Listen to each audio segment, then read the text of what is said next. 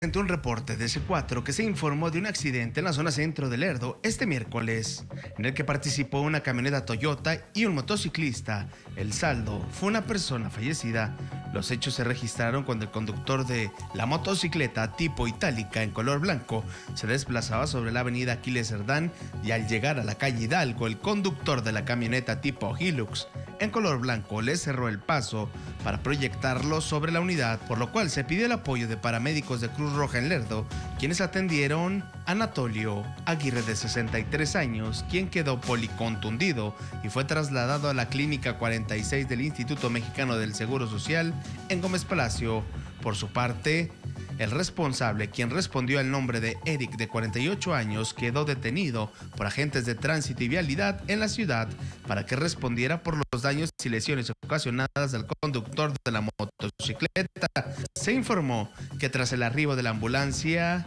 a la clínica 46, el hombre de 63 años llegó sin signos vitales, por lo que se pidió la presencia de agentes del Ministerio Público de la Vicefiscalía, Región Laguna Durango. Ante el hecho, ordenaron el traslado del cuerpo al servicio médico forense para la necropsia de ley. Momentos después, una grúa removió la camioneta en color blanco y fue trasladada al corralón municipal.